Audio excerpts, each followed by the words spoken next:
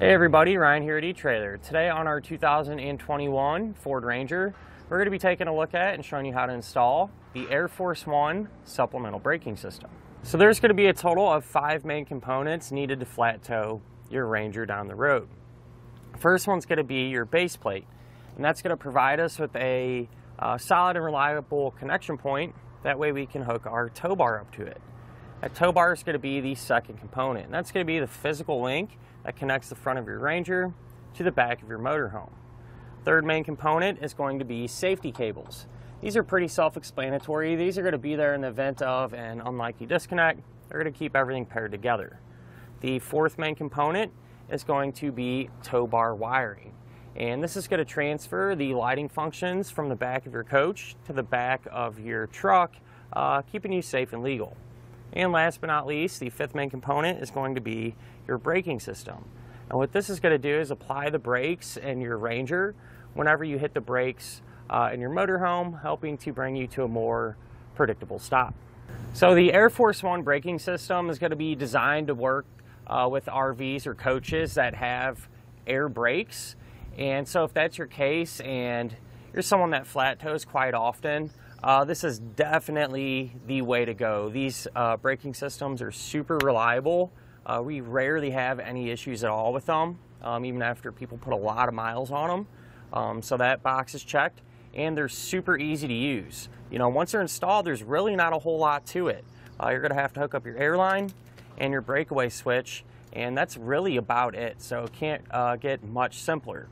And I will say, um, if you're someone that has those air brakes and don't flat tow all that often and really aren't looking for a permanent type option, just to uh, kind of give you a solution to that, you could also use the Blue Ox Patriot 3 portable type braking system. Again, super easy to use, really reliable. Uh, that'll work great uh, as well for those of you that maybe change their flat tow vehicle quite often. You get a new car every year or two, whatever the case may be, you can always easily switch that out with it. So um, regardless of case, uh, Air Force One here, very reliable and a great choice. So just kind of a quick rundown on how this kit actually works is it's going to have this tank with it, right? And this is going to tap into your motorhome's air supply system. So it's going to be uh, more or less a reserve full of air. And what's going to happen is when you apply the brakes in the motorhome, air is going to come through the line through this coiled airline here at the back of your motorhome. Whenever it's not plugged in or anything, it's not going to leak or create any issues like that. Nothing to worry about there. Just plugs right in. And so that air is going to be transferred to the fitting here at the front of your Ranger. And so that's going to go through the operating unit side of the truck and eventually tell the brake pedal to get pushed down and so it's going to be um, almost immediate so like truly proportional if you will. Um, that way you're going to have a great response time and um, feel whenever you're driving down the road. You know the ranger's going to hit the brakes when you want it to not before or any later. The ranger's brake pedal is going to be applied at the same rate that you apply the brake pedal up here in the motorhome. So just to kind of give you an example on how that's going to work let's say if we're uh, rolling up to a red light and you're kind of just halfway on the brake, you know, just kind of pushing a little bit, Ranger's going to do the same thing.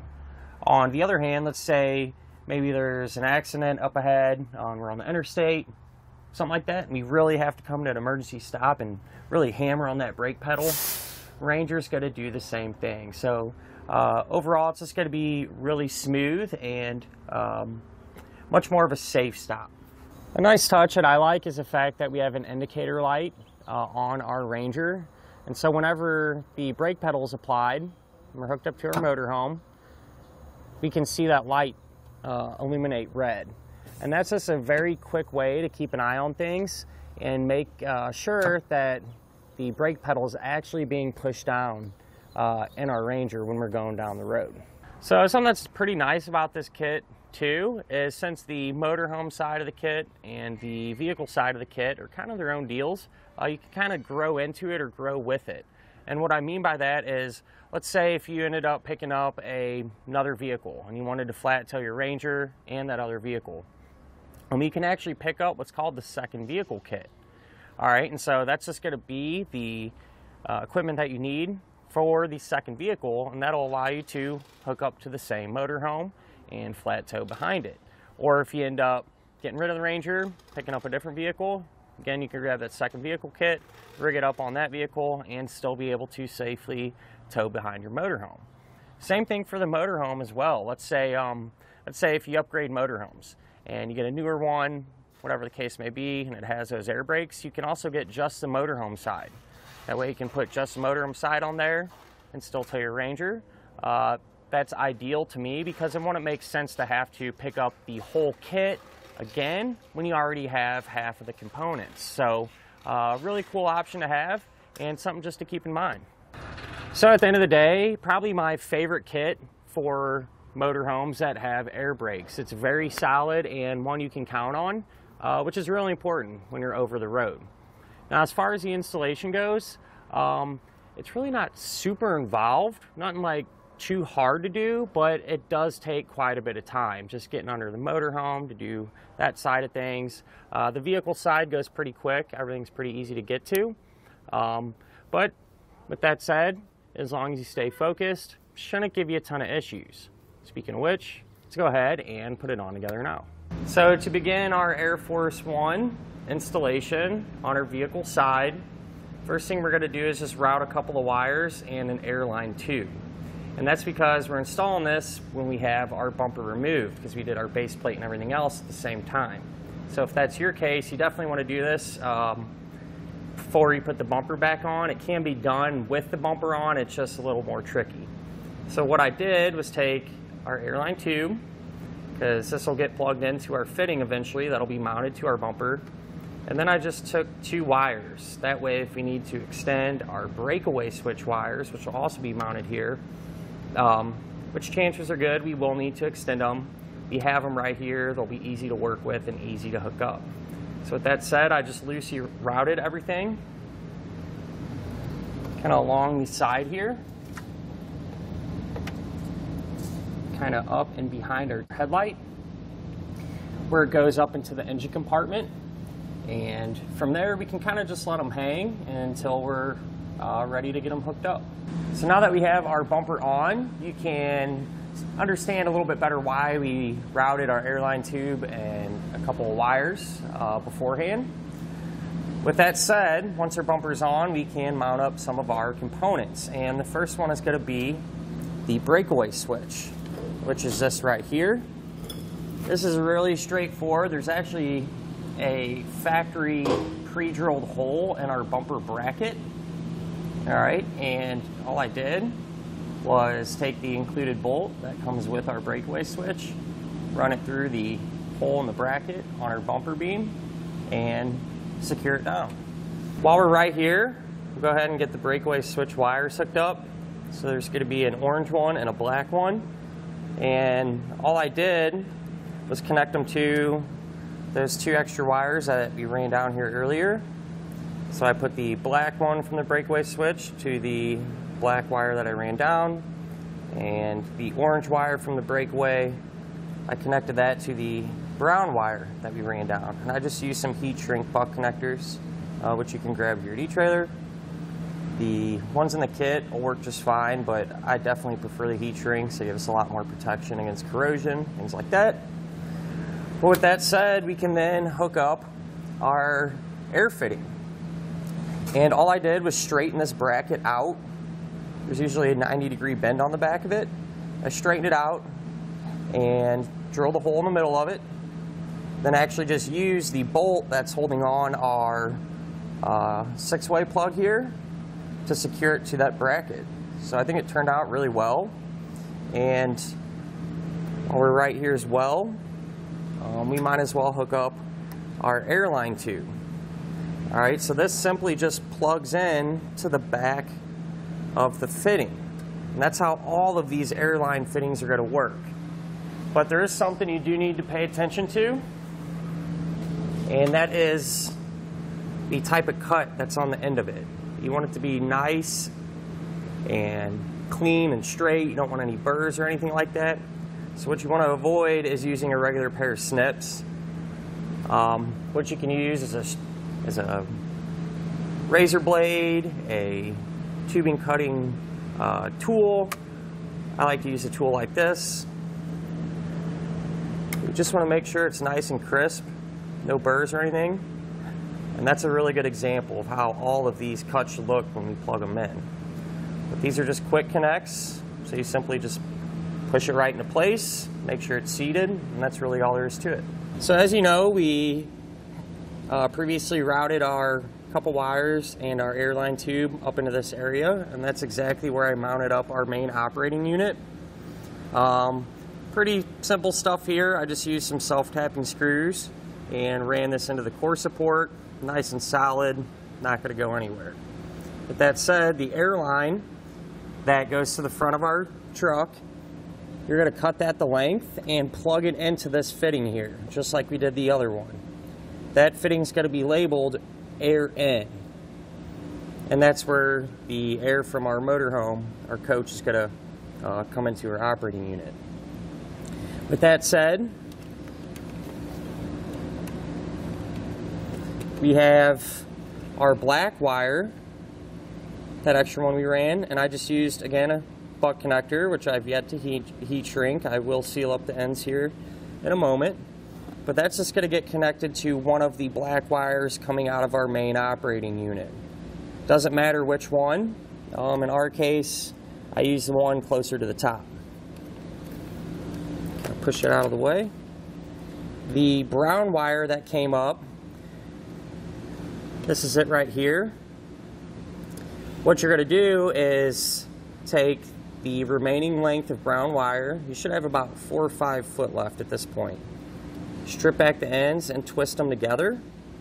And uh, what we're going to do in a moment is connect a fuse holder to this. With that said, we'll kind of just set that to the side for now. And we'll move back to our operating unit. Let's talk about these, this other black wire that's coming out of it. This is simply just going to need to get grounded.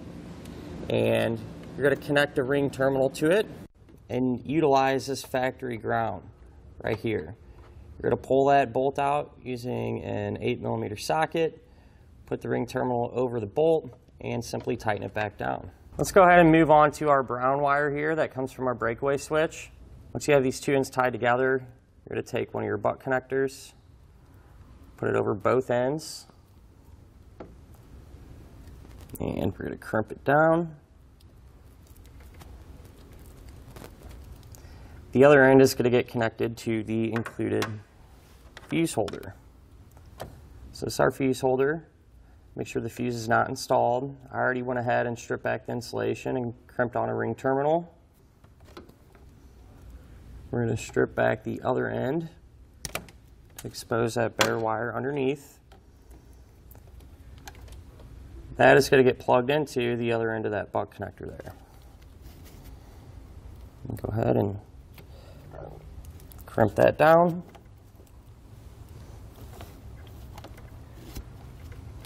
We'll come back with our heat source and seal up the ends.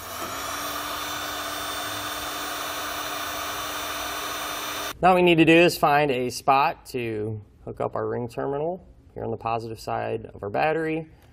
I'm going to choose a stud right here just because uh, there's no wires or fuses, anything like that going to it, so kind of isolate that one.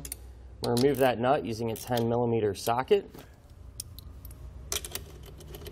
Slide over the ring terminal. Simply tighten it back down. Now let's go ahead and focus on getting our vacuum line hooked up uh, to our main operating unit there. What we're first going to do is take one of the check valves and maybe an inch or two long piece of included hose. Put the black end of the check valve into the hose. These just push in, they're barbed, so um, you know the hose isn't going to come off very easily at all. Then we're going to take the big length of hose,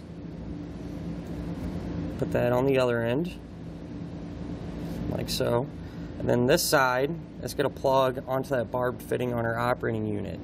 All right, you, you want to make sure that the black portion of the check valve is going to face towards the operating unit. So go ahead, get in there, and slide it on. Now what we can do is kind of prepare all of our other fittings and lines. That way we can tap into our factory vacuum line. It's just easier to kind of piece everything together uh, like this as opposed to trying to do it one by one, you know, bent over in the engine compartment. So to make things easier, I'm actually using this um, adapter fitting and this end will plug directly into the brake booster. Uh, I suggest using one of these. We actually sell these here at eTrailer. They look a little bit different, but the concept is the same and they work exactly the same. So what we're going to do, this side here with the seal is going to go to our brake booster. So we'll leave this empty. This T-fitting, this one that comes out here, that's eventually going to plug into that long 3 8 line that we ran off of our operating unit. And this side will connect to our factory vacuum line. So with that said, what we're going to do is use a um, piece of hose. This is a larger piece of hose. You will have to pick it up separately. I believe this is 11 16ths ID in diameter. You can grab this at your parts store. And honestly, you only need about a foot of it. And we're going to slide this on this end here. Take one of the hose clamps. Just loosely put that over it for now. And then we can grab our other check valve. All right, and this needs to go in the hose. Well, the check valve is way too small. We're never gonna get a good seal on it. So what I figured out is if we cut maybe about half inch piece off our 3 8 line, put that over the check valve on both sides. That'll fill up that difference. So now we can slide that over. When we put this in, you want the uh, white portion of the check valve to face, face the brake booster, black portion of the check valve to face uh, towards the engine. So that'll slide on like so. I'm going to use our clamps here just because those aren't barb fittings like the other ones. They have more of a chance of coming undone. Then I'm just going to take maybe a few inch piece of this larger line. Uh, again, push that over, take our hose clamp and put that on as well. Now with this as a unit, um, it's going to be much easier to get installed. So I'll snug these up a little bit. They don't need to be crazy tight.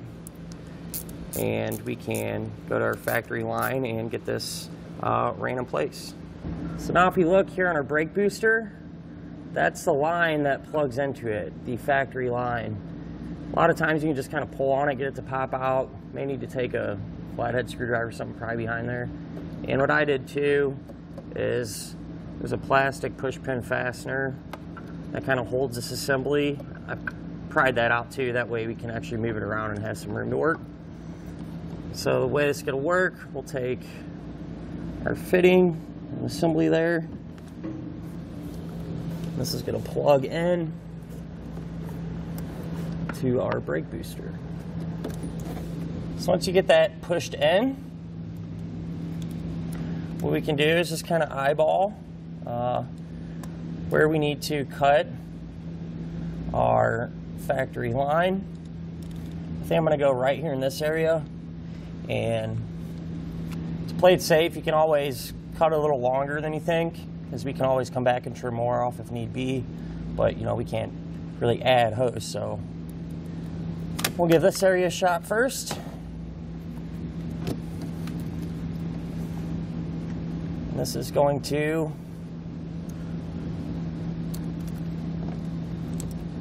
plug right in. All right, so I went ahead, routed that length of hose from our main operating unit over to the T, cut at the length, and simply pushed it over that barbed fitting. So earlier we talked about routing the length of this brown wire inside of the cab of our Ranger. we can do that now, but while we're at it, you might as well route the nylon air tubing in there as well. So again, get a want a length of this. The tubing that's going to run inside of the Ranger is going to get plugged into our main operating unit here, into this fitting, and that'll be air out. That's what it will be labeled. But I just took the same path for our tubing and our brown wire. Just kind of ran it along the side here. And it kind of just comes behind this area. You can see here's where our tubing comes up there. And our brown wire. And the way I got them inside is there's actually some factory grommets. A little tricky to see from out here, but actually pretty easy to see from the inside. Um, they're solid, so you will have to take a drill bit and just kind of punch a hole through them. And those are what I use to route our air tubing and the brown wire inside under the dash. So now underneath the dash here on our driver's side, just to give you a better view, this is where our airline tubing and our brown wire came through. So the airline tube is going to route to an actuator cylinder that we're going to bolt up on our brake pedal arm. And the brown wire is more or less going to run to the same place. There's going to be a switch on that actuator cylinder that the brown wire is going to connect to. So here's what our actuator cylinder looks like. And this is relatively straightforward. First thing you're going to need to do is take that switch I talked about. This is called the reed switch. And this just slides into this little housing here. And use a small flathead screwdriver just to barely snug down that bolt. You don't need to crank on it or anything. You just want to keep the switch from moving around. From there, you're going to take the whole actuator cylinder itself and use the clamp that's on it to bolt it around your brake pedal arm. We are then going to have a cable that comes off of the actuator cylinder that runs down to an anchor that gets connected to the firewall. As opposed to drilling new holes in the firewall and everything else, I figured I'd utilize this factory stud right here. This was originally kind of like a plastic nut that just kind of held down the carpet, but since we had to cut the carpet out anyway to give us an area to bolt everything up, figured why not use this. So I just found a flange nut. This does not come included, um, but the thread pitch is going to be an M6 by 1.0. So you can grab that from hardware store or something and tighten it down. And what we're looking for, we want this cable to be nice and straight with the actuator cylinder. So to give you an example, if I push down on the brake pedal and pull back on that cylinder, you see that cable's nice and straight. We're also going to want a little bit of um, slack in that cable. You want to be able to move the cylinder around a little bit. That way it's not super tight. And to accomplish that, on the bottom of that anchor. It's hard to see, but it's there on the bottom of it. There's going to be a four millimeter hex head set screw. And so you can tighten the cable up or loosen it up. Once you find the desired tension, you can just snug down that hex head set screw and that'll keep everything in place. So once you have the tension set the way you want it, we can hook up the airline tube that we routed inside here. Cut it to length, nice and clean, and plug it right in. With that said, there's going to be some wires that come off of our actuator cylinder. All right, off that reed switch. Just kind of got them loosely hanging here right now. And we're going to need to hook these up. And we're just going to use some butt connectors to do that. Alright, so the black wire from our reed switch is going to get connected to the red wire from our indicator light. I haven't showed you where I put that yet, but we can kind of run through it backwards and uh, get it hooked up. So black wire from the reed switch, red wire to the indicator light. We'll then have the brown wire from the reed switch that goes to that brown wire that we ran inside of the cab here. Last but not least, we're going to have the blue wire from the reed switch. That's going to get connected to the black wire from our indicator light.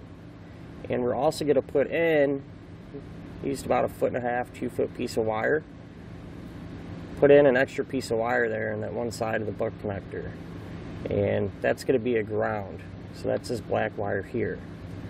Where I did, where I grounded that, we pull our dash down here, just pops down. Just routed that wire right up through this opening. Crimped on a ring terminal. Pulled out this bolt using an 8 millimeter socket and resecured it, and that provides us with that ground we need. So now we can go over uh, our indicator light wires. So the small red and small black one, they run for a little ways and then eventually turn into this. They're in like one big sheathing here. Makes it a little bit easier. But what I did is just run them right up through here. And you kind of just sneak it right behind your kick panel. And if you just pull off this weather stripping a little bit, you can actually just use that channel to route our wiring up. So it just continues along behind the weather stripping up through there. And once we get to this pillar, what you can do, kind of just peel this back a little bit. Just kind of sneak that wire in there. And then you can just tuck that wire uh, above your headliner and in between the glass. You can just feed that all the way through. And we're going to have this plastic piece here in front of our mirror. Again, you can kind of just sneak it in that opening there. And right here on the front side of this plastic is where I stuck the indicator light. So this is simple, some two-sided sticky tape, peel it off, make sure your surface is clean, and just push it right into position. So now that our vehicle has everything hooked up, what you're going to go ahead and do is install the included fuse into the holder, like so, and close up that cap. To begin our installation on our motorhome, we're going to be here at the back of it, and we first need to mount up uh, some of our main components. First one being our air fitting uh, that will connect to the hose that goes to our vehicle side. So this fitting uh, is pretty straightforward. What I did was just attach it to this no drill long bracket that I put around the motorhome's hitch. You can grab these brackets here at E-Trailer and then I just used a couple bolts to actually secure our air fitting itself to that bracket. Then we can move on to our air tank. And again, pretty straightforward stuff. Um, I actually kind of pieced together some hardware. That way I could actually just clamp it around our hitch. So I just used some long bolts here and just a U-bolt over here. Um, as I said, this hardware don't come with the kit, but you know, you can source some and do it similar to this. Really straightforward, not really too crazy about it. Just want to make sure that it's nice and tight and um, out of the way of other components. Now we can start to get our air lines hooked up. So this will get routed over to our air tank. Now what we can do is route our other air lines. So we're going to have this one here. This will go to the metered air side on our motorhome. So that's the side where you're only going to have air pressure when you actually apply the brakes. This side is going to go to the supply line of our of our motorhome's uh, air system. The supply side is always going to have pressure. With that said, we'll get these routed up there um, to where we can tee them in. Both of the lines are just going to kind of wrap around and kind of go straight uh, along our frame rail right here in this area. So the two air lines, we're going to run them together and more or less they're just going to come straight along the side of our frame rail. And whenever you're routing these, you want to do your best to avoid any hot or moving parts. Both of them are going to just continue along here. just have them loosely secured so we can kind of get a better idea. Should run straight right up until about this area. In this area, they're going to go up a little bit and kind of over our uh, rear axle. So here's where our two airlines come above our axle and where we have them teed in.